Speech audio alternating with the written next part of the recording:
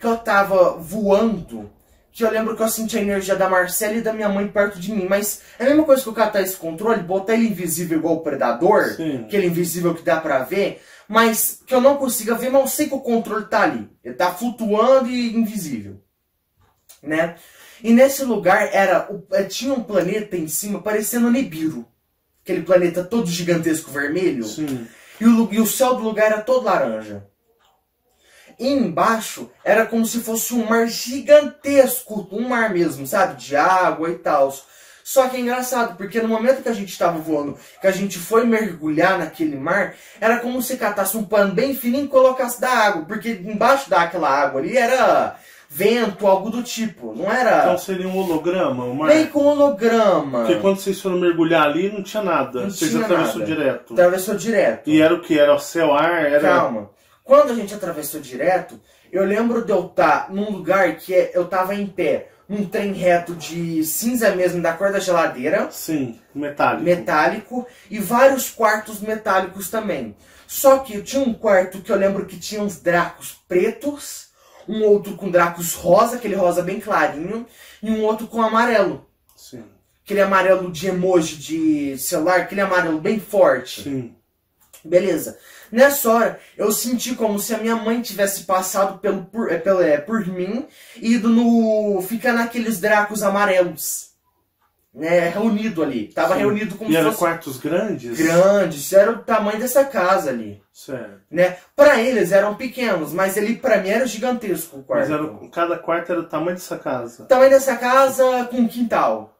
Sim, Só que do lado do outro com a parede aberta. sim. né? Só tinha um trenzinho meio que marcando que era uma parede ali, outra ali, Sim. outra ali. E nessa hora eu lembro que tinha vários e vários, só que eu lembro de ter os pretos, rosa e amarelo. Nessa hora vinham seres meio que não é parecido com aqueles do Delta Vega lá daquela experiência, Sim, não é humanos aqui da Terra, não é humanos do espaço, não. sim, É uns seres carecas, sim. Todos carecas, parecido até, sabe com o quê? Aquela experiência que eu tive do. Do. Que eu vi Miguel e Jeová, que lá em cima ficava aqueles meio que arcanjos, eles eram carecas, brancos. Sim, Lembra que eu contei na sim, experiência? contou. E tinha esses seres que eles eram carecas, eles eram altos, musculosos pra caramba, até mais musculosos que os Dracos. E eu lembro que não tem um Star Trek que ele usa aquele modelo de roupa do espaço? Aquele trem vermelho, mas não é vermelho, eu falo modelo, aquele trem, aquela roupa espacial. Não Sim. trem todo preto, é aquele trem de pano mesmo, Sim. sabe? Com uma calça toda preta, bota preta. E eles ficavam cada um na frente de onde tinha aqueles dracos reunidos de uma cor. E era como se eles estivessem conversando com aqueles dracos. Hum. E eles eram carecas, até para... lembrava aqueles... Eles eram mais fortes que os dragos? Não sei, mas eles eram altos, do tamanho dos dracos, só que mais musculosos. Mais musculosos mais que os dragos? musculosos que os dracos. E eles estavam é, meio que conversando como se eles fossem generais ali. E eles estavam falando, e esses eram idênticos ao que você viu na, na muralha em cima lá? da, daquela Da muralha. muralha, gigantesca Você lá do lado de sentado. Jeová? De lado de Jeová. Eles Exato. eram idênticos? Idêntico, careca, branco e altos. Sim. Né? Nesta hora, eles, esses dracos, esses seres já saíram da frente dos dracos e eles iam no rumo, eles davam meio que uma volta assim, e eles iam no rumo. Não tem no filme do Star Trek, Além da Escuridão, que tem aquele ser que é forte igual Spock? Qual que é? Ah, não, você fala o. Você fala da- além da escuridão? Quem que que, tem é aquele o. ser forte igual o Spock, que luta com ele no final lá? Sim, é o tipo Khan. Isso, é no filme mesmo, Além da Escuridão, não é? Sim, é. Não tem quando o Scott ele entra dentro daquela base que tem até aquela silhueta assim que você entra dentro da, da base e fora é o espaço, Sim. né? Como se fosse aquela Aquele galpão. aquele não não era pode ser também, mas era como se fosse você saindo daquele lugar tinha uma marca assim ó como se fosse um Portal. um portal parecendo com aquele portal que eles entravam dentro daquela base que ele até reiniciou o sistema daquela Sim. daquela nave que ia acabar com a Enterprise. Ele abriu uma escotilha na nave, eles vieram do espaço e entraram. Isso, aquela escotilha. Parecia? Parecia, bastante. Tinham várias escotilhas. Só que, nessa hora, esses dracos já, eles vieram só nessa. E eu ia voando junto. Com eles. com eles. E quando a gente ia voando no rumo que a gente saiu, e fora também que aquela, aquela escotilha tinha como se fosse aquele mesmo holograma de, daquele mar em Sim. cima. Era um trem de água na frente. Tá. E quando a gente saía pelo aquele holograma, a gente estava num lugar que era todo vermelho, parecia um planeta vermelho. O céu era todo vermelho. Não tinha mais aquele holograma em cima, embaixo não dava para ver. Só se eu ficasse lá em cima, eu acho Uhum. né? E eu lembro que eu olhava, não tem experiência que eu fui ali na, na, na área, que tinha aquele cara do cabelo grande, que tinha ca- aquele cara com o cabelo é, mais curtinho, que a gente olhava pro, pra, como se fosse ali na área mesmo, que a gente olhava pro céu e via um tanto de morcego voando, Sim. todos agitados. Sim. Era como se fosse o planeta daqueles dracos ficassem agitados. Era um planeta de dracos. Não, mas você já. É porque você não me acompanha desde 2016. Mas eu sempre, quando eu fazia a série Orion, no começo, eu relatava os mundos do- de, de, é, orianos e eles são vermelhos. Tanto que eu tenho uma série chamada Orion, lá eu relato, são planetas desérticos, como desertos, só que eles são de céu vermelho e são planetas vermelhos. Eu tenho a série Orion de 2016, eu já Mas abordava é. esses planetas. Eram vermelhos. Michael, e quando esses dracos passou, todos os dracos, né? Calma. Tava todo mundo. Era Então, todas peraí, as deixa eu cores? entender. Todas as Eles cores. estavam aqui, vocês estavam voando, aí adentro um mar, que não era um mar, era um holograma, e vocês parou numa base de metal. De metal. E ali estavam Os compartimentos. quartos, os quartos, isso. Aí estavam esses seres, parece os arcanjos conversando, aqui. Aí eles atravessavam porque tinha uma escotilha aqui no fundo. Não, aí tinha esses quartos, não tinha? Sim. Eu desci lá do céu. Aí passou pelo mar desci, e parou tinha- aqui. E quando eu desci, já tinha um trem de ferro comprido. É como se tivesse uma, um trem pra ficar parado e Um olhando. puleiro, Um- puleiro. é, exatamente. E quando eu desci e fiquei parado, era como se eu tivesse descido No mar e aqui parou. reto, aqui reto e a escotilha aqui na frente. Sim. Só que nessa parte, quando você vinha onde eu tava, se eu virasse pra cá e olhasse de frente meio que pro lado, é como se eu tivesse aqui, ó, os quartos ali e aquela escotilha ali. Ah, tá. Então os quartos estavam parados aqui Todos e a parados. estava aqui. E Isso. você estava aqui. Isso. Aí você olhava aqui, via os quartos e aqui você via a escotilha. Isso. E Mas tudo hora- debaixo do mar. Tudo daquele, debaixo daquele mar mar. holograma. Exatamente. E nessa hora, aqueles dracos, eles vinham, meio que davam meio que uma volta e já ia no rumo da escotilha. Eles saíam daqui eles iam pra Isso, escotilha. na- ia pra escotilha. E eu ia voando junto. Aí eu já senti a energia da Marcele, da minha mãe. Eu só não lembro da sua, você nem existe no universo. Né? Eu- Nas experiências das ameaças você não tá, dos alienígenas você nunca tá, é sempre assim. Eu não existo, Você não né? existe. Aí foi, e a gente tava voando, só que o planeta todo tava agitado.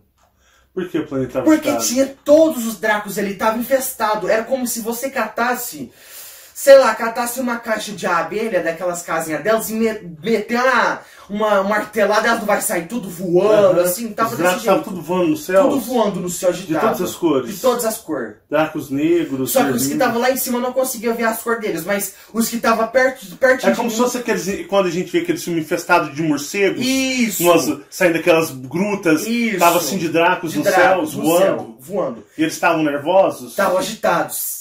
E quando eles eu olhava mais pra cima, era como se tivesse vindo de algum planeta. Imagina, não tem aquela nave dos felinos? Bota 10 vezes maior e cata 40 naves 10 vezes maior do que aquelas dos felinos. Só que no lugar, elas estavam vindo, eram muitas naves, era pra atacar aquilo ali. E, esse, e quem E tava dentro quando dessas tava a- lá dentro, no meu. Tipo, era como se eu tivesse soube, era como se eu soubesse que tava lá dentro, mas não tinha nenhuma semelhança, né? Não tinha um sinal de que era. Mas quando tava vindo, eram insectoides. Eram insectoides. Insectoides indo atacar o planeta ali dos Dracos. Aí eu já não sei se a minha experiência do primeiro foi os Dracos que atacam aquele planeta e esse ficou com raiva, algo do tipo, e atacou o planeta dos Dracos. Ou eles iam pra atacar o planeta dos Dracos e os Dracos depois pra atacar o planeta deles. Porque eram muitas naves que estavam vindo pro rumo de. Vou falar de Orion ali, daquele planeta. Aqui, Eles estavam todos. Nossa, os era muita nave. Então vamos lá, vamos recapitular. Então, os arcanjos estavam dando ordens, Ordens para dracos. os dracos. Sim. Possivelmente esses dracos nessas salas deviam ser generais. Deveriam ser autoridades, que essas autoridades elas iriam comandar aqueles que estavam voando para se defender aquele mundo. Então, o que? Os arcanjos vieram Sim. e falaram com os generais, os líderes, para eles se organizarem para receber aquele Isso, ataque. Como se fosse isso. E no céu eles estavam todos agitados. Eles estavam com armas, os dracos? Não, não. Nem armadura. Nem armadura, Nem eles estavam armadura. normais. Normais. E aí o planeta todo vermelho. Todo vermelho e muito agitado. Muito agitado. Só que é engraçado, porque aquelas naves. Imagina, São Paulo é a maior cidade aqui do Brasil. do Brasil. Imagina uma nave do tamanho de São Paulo, se pá até maior, se pá chega até o tamanho de um estado, não sei. Mas se coloca em torno ali de 40 a 50 naves. Eram gigantescas as naves. Mas era muita, e aqueles naves, eles, não ficou, eles ficou preocupado, agitado ali, porque era muita nave. Se, imagina, você cata um milhão e coloca dentro de uma nave, tinha 40 milhões de insectoides ali. E você sabe mais ou menos como é que eles eram? Você Não, lembra? não, os Você insectoides só não. sabe que Só eram sabia que naves. estavam lá dentro. insetoides. Eles. Eram naves insectoides. É mais ou menos mais ou menos quantas naves assim você 40, deduzia? 50. Umas 40, 50 40, naves vindo 50. gigantes. Isso é um número que eu chuto baixo. Pode ser que veio até 70, 80. Porque as que veio lá em cima, que tava ocupando o céu, não tinha um espaço pra você ver. Fora, tava tudo já vindo. Podia ter vindo até mais atrás daquelas naves. Sabe?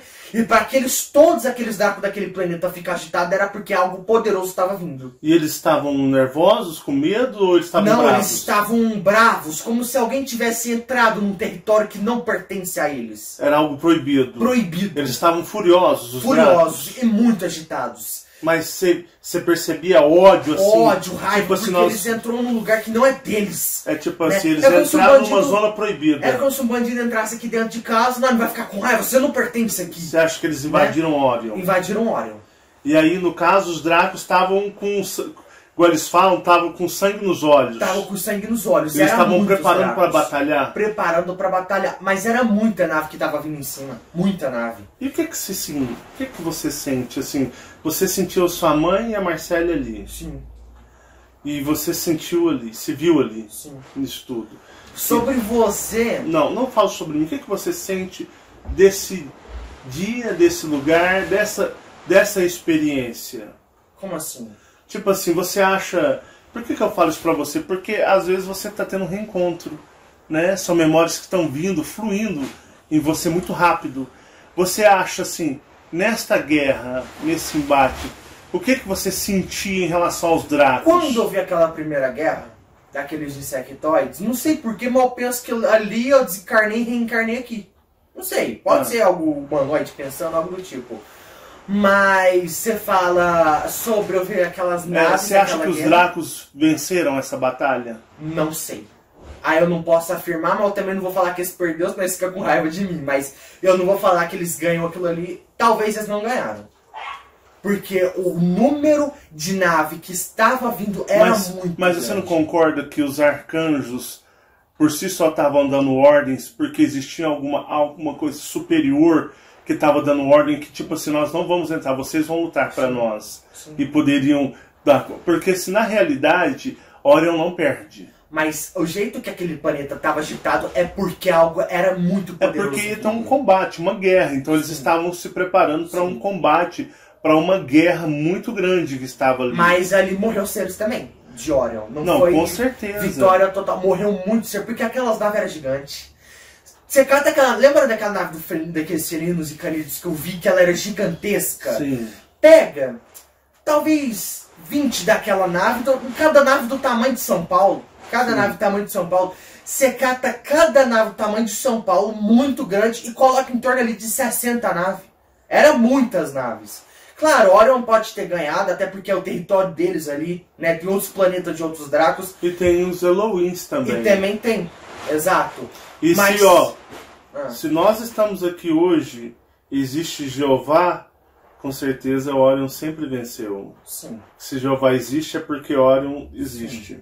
sim. Mas que aqueles Dracos não saíram totalmente vitoriosos, não. Eles também morreram muito. Porque aquelas Sim, claro. naves. Fora que também, por que, que eu falo isso? Porque aqueles. Lembra aquela experiência que teve só coisa de 6, 7 reptilianos dentro de, uma, dentro de cilindros pequenininhos? Sim. explodiu aquela nave com mil e mil canídeos aham. ali dentro. Agora você imagina um planeta de dracos agitados, muitos dracos, até para receber ordens de seres extremamente poderosos, que são os arcanjos, Uhum. né? ficarem agitados com aquelas naves é porque seres muito poderosos estavam ali dentro. Né? Até porque esses seres não é todo de atacar Orion, temos Elohims, arcanjos, generais Dracos, é porque esses seres também são muito poderosos. Né? Porque eu não vou entrar, sei lá, eu não vou entrar numa caverna onde tem 10 reptilianos ali, não, porque a território deles eu não sou porra nenhuma ali. Sim. Né? Agora, para eles terem entrado dentro daquele planeta, onde era um planeta de Dracos, né? Porque Dracos são bem mais fortes que reptilianos. Se naquela experiência daquela, daquela luta onde tinha aqueles insectoides, que só os reptilianos lutaram, aqueles Dracos ficavam parados, era três, dois Dracos que tinha. Sim. Eu via dois, eu poderia ser um ali, eu acho, né? Tô afirmando como humano aqui. Mas eu lembro que eu via dois. Só dois Dracos ali, só dando ordem. Se eles fossem lutar, eles acabariam com aquilo ali facinho. Sim. Agora imagina um planeta de puro Draco. E eles tendo audácia de ir lá. Tendo é audácia eles é porque são suicidas, poderosos. né? Eles Não são suicidas, é porque são atacar. poderosos mesmo. pra combater. Sim. Aí nessa hora que eles, aqueles Dracos estavam voando no rumo daquela nave, eles não usavam. Poderia realmente poderia ser uma guerra. Porque se os Dra- Dracos quisessem, eles usavam espada, arma, é, nave, né? Isso foi na mão mesmo ali. Você, né? você assistiu o vídeo que eu gravei ontem sobre guerras antarianas? Sim, escutei metade. É, sabe qual que é o mal do Michael? O mal do Michael, o seu mal é que você não se dedica. É verdade. Você não medita mais, você não assiste os vídeos, você não acompanha o trabalho como você deveria. Porque você tem uma sensibilidade, a sua origem te chama tanto, te chama tanto, ela é tão forte dentro de você. Eles estão te resgatando, Michael, na força. Porque na realidade, fazer por onde você ser resgatado, você não tem feito. É, eu ou não é? É igual eu falei pra minha mãe, né? Eu tenho sorte de ter nascido aqui nessa família, porque se eu fosse um moleque qualquer da rua, eu seria mó Zé Droguinha, nem estaria ouvindo os vídeos do canal. Então, Pois é, realmente, então assim, você Eles me colocou tipo assim, ó. Então você, se você não vai ouvir os vídeos dele, então você vai lá co- acompanhar lá onde ele grava. Você vai ficar na energia, Na onde energia, ele tá. é. Porque na Não, realidade, mas realmente eu nem escuto os vídeos. você tem um potencial energético. Você, eu vou, eu vou, eu vou falar para não para engrandecer o seu orgulho. Para mim você, para mim, você é o maior médium que eu já vi em potencial. O maior paranormal que eu já vi em potencial. Nunca vi, nem eu sou dessa forma. Mas você também é o maior preguiçoso que eu já vi na minha vida. É que eu tenho A de pessoa- normalidade, eu tenho de preguiça. Uma pessoa totalmente. É ou não é, Fabiana? É muito relaxado. Descomprometido. Nossa, vocês acabam com Enquanto muitas pessoas estão meditando, buscando e não acontece nada, você vem assim, ó, eles vão te jogando tudo dentro de você, igual você falou. Não, não engrandecendo, mas você tem sorte de ser meu filho. É verdade. Porque essas coisas acontecem com você pela ligação energética de mim. Então, de mim passa para você. Sim. mas você tem um potencial monstruoso, igual você não acompanha as séries, você não vê, medita direito, praticamente você nem medita, você simplesmente faz porra nenhuma. Mas o que você tem de de, de, de informação é absurda. Se você assistisse os meus vídeos com muita atenção, essas coisas que você tem, você ia compreender. Você iria fazer um resgate mais preciso interno dentro de você. Você não concorda, Fabiana? Com certeza, né? Você é um mega, um mega de um cristal, um diamante bruto, muito poderoso, só que tem que ser lapidado por você. Você tem dádivas, você tem, como você sabe, seus, suas dádivas, seus dons vêm de mim, Sim, claro. por minha causa. Mas você tem uma coisa que você é humilde. Nesse ponto você é muito humilde, muito bom de coração. Você é um, um adolescente que eu não tenho que reclamar um vírgula de você. Como tri- tridimensional, você é perfeito. Como um adolescente tridimensional, você é perfeito como filho, perfeito como todos os sentidos. Mas cosmicamente você está relapso, você está relaxando. Então você tem essas experiências igual hoje é que dia? Hoje é dia E dia 29? 29. 29. Agora são 3 e 15 da tarde. Você vai fazer domingo agora, você vai fazer 16 anos de idade, você ainda é um menino. Não é uma criança. Mas se você pegar agora e deixar de ser preguiçoso, o que muita gente está lutando para conseguir, Mike, você está ganhando tudo de graça. Eles te dão tudo de graça nas suas mãos, igual. Você vê essas, essas cenas porque você fala para mim, pai, parece que eu estou lembrando. É. Não é sonho, é lembrança, pai. É.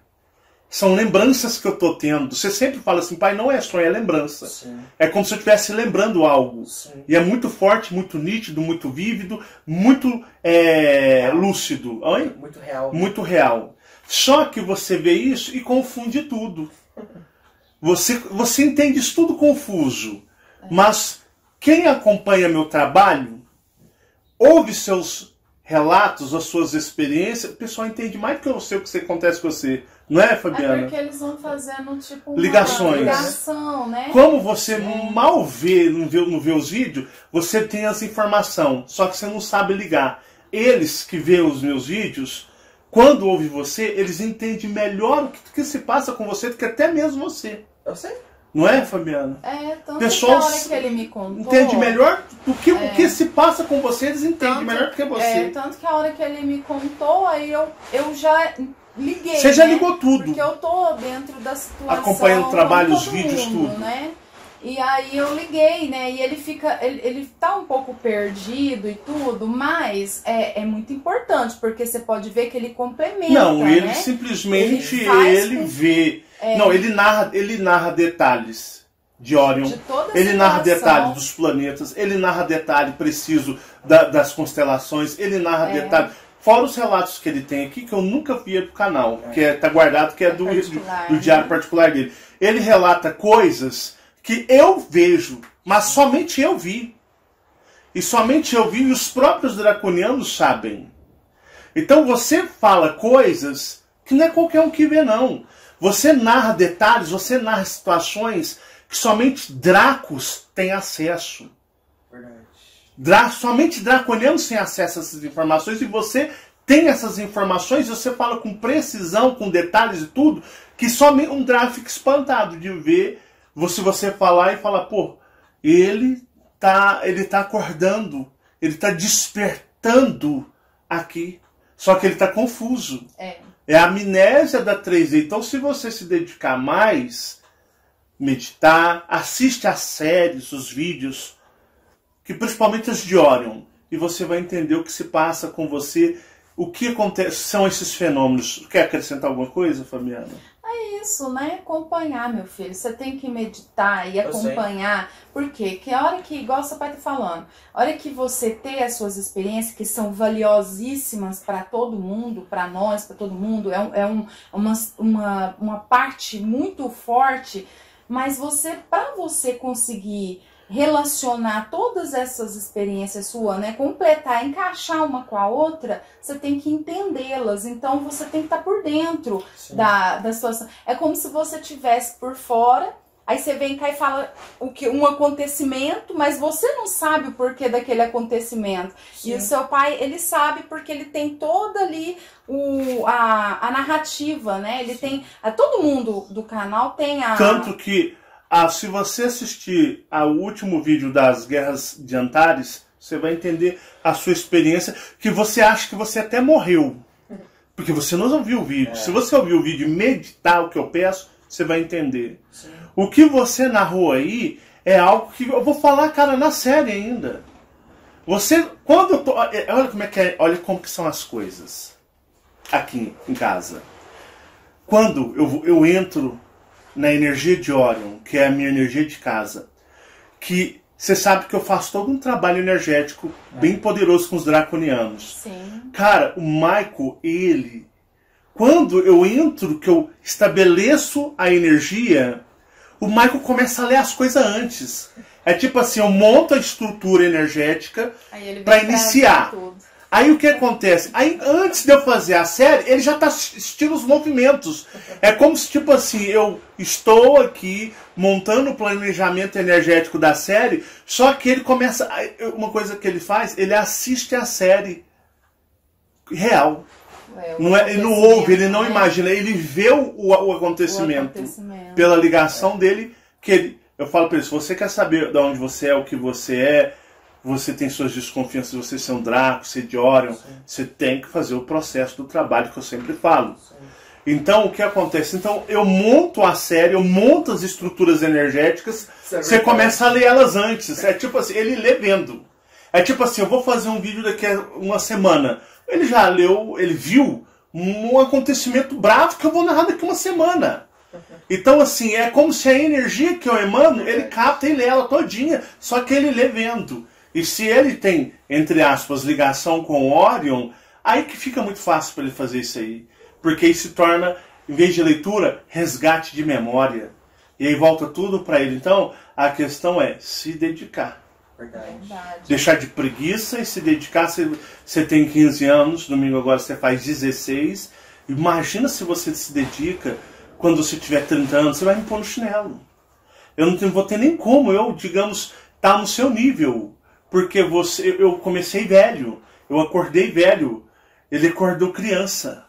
Então a lucidez dele vai ser muito maior do que a- até a minha. Então a questão é se dedicar. Verdade. Não é, Fabiano? É isso aí. Tá bom? Tá bom. Mas top demais, hein? Verdade. Ei, Michael, e tem mais um detalhe que você deixou, passou despercebido sobre a nave deles? Como é que ela era? Elas é porque naquela experiência dos felinos Ah. era algo todo bonitão, toda uma nave limpinha, lisinha, né? Igual aquela nave do. que eles usam em Vingadores, aquela que fica invisível. Não, é a. É do, é da Liga da Justiça, aquela que fica invisível no céu? Não sei. Ou é dos Vingadores? É uma nave toda lisinha. Era liso, parecia cromado. Parecia cromado. Parecia algum- uma árvore. Parecia cromado mesmo, Uma igual nave você falou, uma cromada. nave cromada. E desses que vinham Já no céu? dessas que estavam vindo do céu, era um trem grotesco, algo. Era, ela era preta, meio que preta, um cinza bem preto. É um tipo, seria um, mais ou menos um Chumbo. Um chumbo, uma, é, um, chumbo. chumbo escuro. Uma coisa tipo rocha. Tipo rocha, é, exatamente. Tipo rocha. Cheio de símbolos. Cheio de símbolos. Cheio de símbolos. E você lembra algum tipo de símbolo? Não, não lembro. Mas era cheio de símbolos. Não era aquele trem lisinho. Era cheio de As, marcações. lá. as de Sirius era linda, bonita. Linda. Já é essas aí que eram dos insectoides, elas eram um trem mais grotesca. Lembra até um pouco dos Dracos reptilianos, algo A- rústico que fala. muito rústico. Era muito rústico. Não é aquele trem todo é, é, é, lisinho, toda bonitinha. Não. Aquele trem dark, sabe? sei. E ela não é tipo igual É como se tivesse a aparência de, de rochas, pedras X. na superfície, é assim? Isso. É como se fosse uma nave que a aparência dela na superfície fosse de rochas, Isso, pedras, aquelas pedras pontiagudas.